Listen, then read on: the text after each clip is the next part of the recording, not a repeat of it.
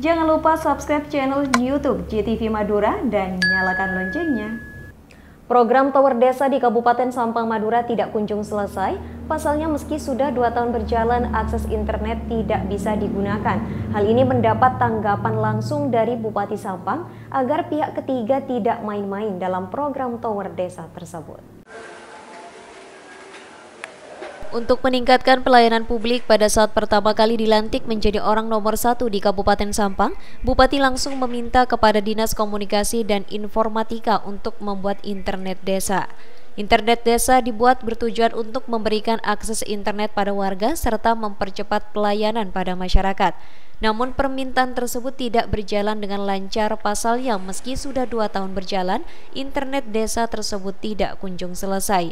Bupati Sampang Haji Selamat Junaidi mengatakan pelayanan yang diberikan oleh pihak ketiga dalam membangun tower desa yaitu PT Atos kurang baik sehingga hal ini dapat dilaporkan ke polisi.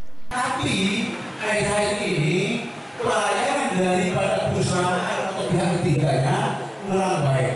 Saya dipenjarakan. Tidak koordinasi saya akan ke Kapolres. Tidak ada permainan di situ. Kalau memang mereka tidak kooperatif, penjarakan. Nanti masalah juga. Karena kepala desa merasa dirugikan, kamu pun merasa dirugikan. Selain itu, Bupati Sampang menjelaskan tower desa sudah dibangun, namun akses internet tidak bisa digunakan oleh masyarakat.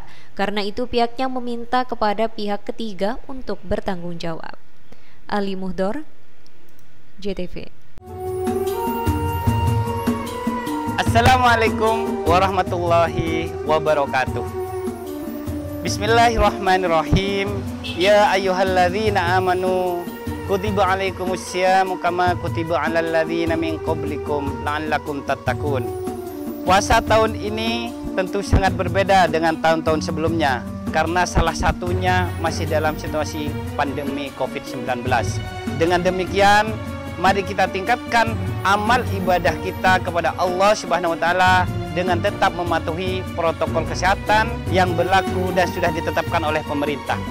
Saya Harun Suyitno, Wakil Ketua DPRD Kabupaten Pamekasan mengucapkan selamat menunaikan ibadah puasa Ramadan 1442 Hijriah. Semoga kita senantiasa selalu dalam lindungan Allah Subhanahu wa taala. Wassalamualaikum warahmatullahi wabarakatuh.